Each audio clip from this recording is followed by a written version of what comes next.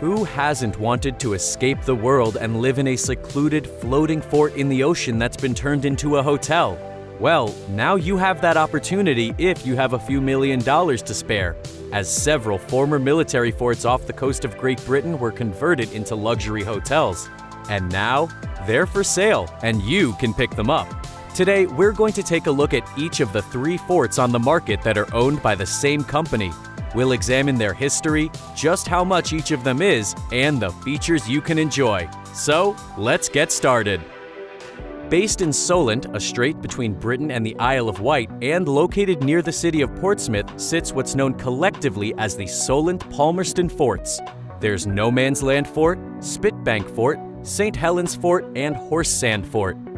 These locations have even appeared in TV productions, with the Doctor Who serial The Sea Devils using No Man's as a location in 1972. The forts were created as protection against possible attacks from France.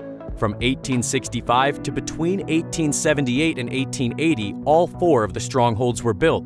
Horse Sand and No Man's Land were 200 feet in diameter and fully armored plated while St. Helens and Spitbank were 150 feet in diameter and only armored on the front. According to the UK's Royal Navy Museum, excluding weapons, St. Helens cost £123,311, around $169,400 today to construct. Spitbank cost £167,300, or $229,900, Horse sand cost 424,694 pounds, or $583,600, and No Man's Land was 462,500 pounds, or $635,500, giving us a grand total of 1,177,805 pounds, or $1.6 million. With inflation, that would be the same as 144.9 million pounds, or $199.9 million. By the time the first fort was completed, the fear of a French invasion had long passed. The structures wouldn't become active again until World War I and then World War II.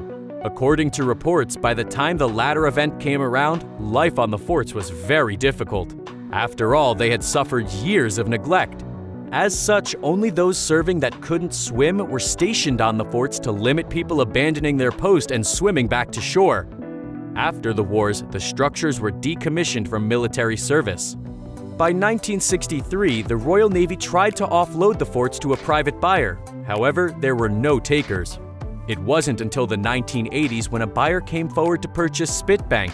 They then turned the fort into a museum, Later, the other citadels found new owners as well. No Man's Land was eventually turned into a luxury hotel by Bob's Leisure Limited. Back then, corporate clients could book the stronghold for events at £25,000 or $34,400 per day. In 2004, the fort was valued at £14 million or $19.2 million. However, also that year, disaster struck. One guest ended up catching Legionnaire's disease. Investigators found the Legionella bacteria at No Man's. As a result, the hotel was closed. The owners soon went out of business and the bank put No Man's on the market for 3 million pounds or 4.1 million dollars. In early 2006, Lexi Holding bought the fort, but six months later, they also went under with debts over 100 million pounds, around $137.4 million. In 2008, Harmesh Pooni, who was the director of Bob's Leisure Limited, claimed he was still the owner of No Man's, so he barricaded himself inside the fort. He was eventually evicted. In 2009, the administrators for No Man's sold the fort for just 910,000 pounds, around $1.25 million. By 2009, Spitbank was the first of the forts to be picked up by Clarenco for more than 1 million pounds, or $1.4 million. Clarenco then spent 3.5 million pounds, or $4.8 million, on refurbishing the fort into a luxury hotel that was opened in 2011. By 2012, the group bought No Man's and Horse Sand as well, they plan to expand their retreat portfolio as well as create a living museum on horse sand. The fourth Palmerston Solent fort, St. Helens, remained with an undisclosed private owner. It's reported that Mike Clare, the owner of Clarenco, had spent around 5.5 million pounds or $7.6 million to buy all three forts. He then spent between 8 million pounds, nearly $11 million, to 12 million pounds, around $16.5 million, on refurbishing the forts. By 2015, the hotel on No Man's was open to guests. But by 2020, the three forts were put up for sale. At the time of writing, Horse Sand is still listed for 750,000 pounds, or $1 million. Spitbank for 4 million pounds, around $5.5 million, and No Man's is up for 4.25 million pounds, around $5.8 million. As for the features for each fort, firstly we have horse sand. Beyond being more run down, the Citadel is essentially the same as when it was built, minus any potential dangerous equipment across 99,000 square feet of living space. The listing states it has, quote, 100 chambers and living quarters and the original gun carriages and armored plated walls, unquote. As for Spitbank, it has 33,000 square feet of interior space surrounded by 15 foot thick granite walls. It comes with 9 bedrooms and 9 full bathrooms. Since it's been operating as a three story hotel, it has guest suites and many luxurious features, such as the Crow's Nest. This is a contemporary bar located high up in Spitbank. It's able to fit up to 60 people for events such as weddings. There's the Officer's Mess restaurant that is decorated with original ironwork to give it that authenticity. For those wanting a more ambient drink, there's the Victory Bar. Complete with a Laurent Perrier champagne bar, the area also has various games for guests to enjoy. For more private events, there's the Wine Cave. It's available for wine tasting and for a more quiet drink. If you want to enjoy a meal in more open surroundings, guests can dine in the courtyard. Finally, there's the roof terrace. There you can find a sun deck, a hot pool, a sauna, and a fire pit.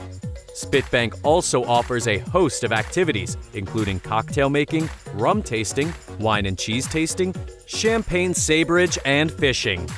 As for No Man's Land Fort, there are 23 bedrooms and 9 full bathrooms within 99,000 square feet of interior space. As for features, there's a TV room, a snooker room, a pool table room, a library, a games room with a card table and chessboard, a spa, a sauna, a hot pool, a fire pit, and even a laser battle room. As for food and drink, there's the Lord Nelson Pub, the Cabaret Club, the Scuttlebutt, and the Mess Hall. Guests could even stay within the fort's lighthouse and take in some of the stunning views. Unfortunately, the forts are not currently accepting guests at the time of writing. Previously, the cost of rooms started at around $400 per night. But if you're willing to pay to own one fort or buy all three for a combined 9 million pounds or $12.4 million, then you can enjoy all of the features and rooms soon. Final fact finish if you want to move to England and have a boatload of cash, then we suggest one of the most expensive houses on the market at the time of writing Hampton Hall. This luxurious mansion located in London is currently listed for nearly $40.2 million. This 11 bedroom abode comes with staff quarters, a bowling alley, a gym, and an indoor pool. Thanks for watching. We'll see you next time.